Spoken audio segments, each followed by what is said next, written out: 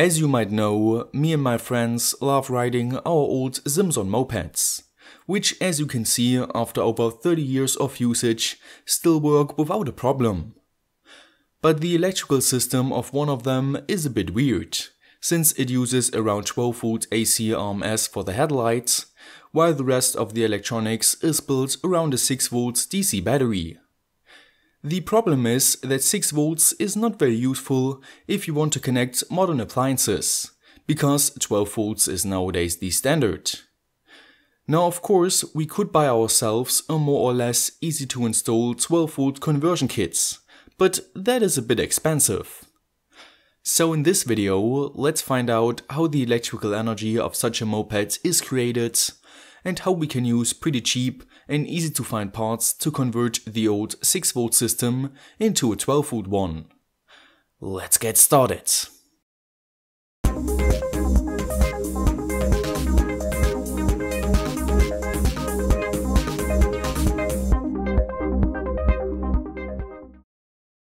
This video is sponsored by JLC PCB, whose new full automatic PCB batch production factory is being used since April. They produce 600,000 square meter of PCBs per month, and you can get your own two-layer prototype PCB for as low as $2. To start off, we removed the mounting screws on the right side of the engine block in order to pull the lid off and thus reveal the electric generator of the mopeds. Now by turning on the motor and accelerating with the throttle lever, we can see how the red part of the generator starts spinning, while the insides, which apparently consist of three coils, stay in place. The red part of the generator, which in my example here is black, is called a magnet wheel, which like the name implies consists of 6 magnets positioned in a circular order.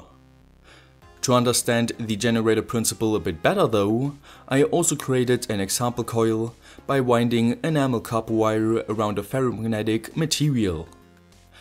After a few dozens of turns, I cut the wire hooked both sides of my new coil up to the oscilloscope and then placed the coil inside the magnet wheel, which I then rotated. As you can see on the oscilloscope, we create an AC voltage whose frequency and peak voltages are proportional to the revolutions per minute of the magnet wheel. And this is no wonder, because the induction law states that a voltage is induced into a coil if there is a changing magnetic flux going through it which it is because of the six moving magnets. And by not connecting my oscilloscope, but instead a load, we can see that with such a generator setup, we can create electrical energy just like the moped does. So for the next steps, I firstly got myself a circuit diagram of the Simson, to find out that we got one coil for the headlights, one coil to charge the battery and power the backlights, and one for the motor's ignition points. Those coils feature one common star point tied to ground, and their wires are luckily color-coded. That means it was time for me to unpack the oscilloscope, turn off the headlight, disconnect the battery charger, and hook up the coil wires as well as the ground point to the oscilloscope. As you can see, we got two not nice looking AC sine waves which are out of phase. Without a load, the headlight one features a maximum of 60 volts AC RMS, while the battery charge one only goes up to half of that voltage, which is not what we want anymore. In order to switch over to a 12 volt system, we need to replace it with a 12 volt coil, which you can get pre-made from the internet for cheap. To accomplish this exchange, we firstly removed the holding nuts of the magnet wheel and then used a special tool called Polradabzieher to remove it completely. Next, we removed the two holding brackets and pulled the bed plate off. According to the wiring colors, we desoldered the wires from the battery charge coil and then unscrewed its nuts to pull it off the bed plates. After then inserting the new coil, we pretty much reversed all the working steps I just listed, in order to restore the original state of the generator. And by once again connecting the oscilloscope, we can see that this time we got two terrible looking sine waves with pretty similar RMS voltage values. Now of course, we could use the AC voltage of one coil to power the headlights and use the other coil's rectified voltage in combination with a battery charger circuit to charge the new 12V 9Ah battery we got for the mopeds. But my friend wanted to replace the standard 35W headlights with a 55W one, and thus he wanted to combine the power of the two coils to power the headlights and charge the battery. So the first thing I did was removing this component right here, which is labeled in the wiring schematic as the battery charger circuits. This component only uses an inductor to reduce the voltage at high RPMs and a diode to rectify the AC voltage, which is truly an old-fashioned way to charge a battery. But before creating our own DIY charger circuit, let's add this full bridge rectifier with load to the two coil wires like it's shown here. And make sure to not use the ground of the coil wires as the ground for the other electrical components since that would partly short the coils and thus result in a terrible looking output voltage and the possible destruction of your cables. Instead, create a separate minus after the rectifier, which you can safely use for all the electrical components.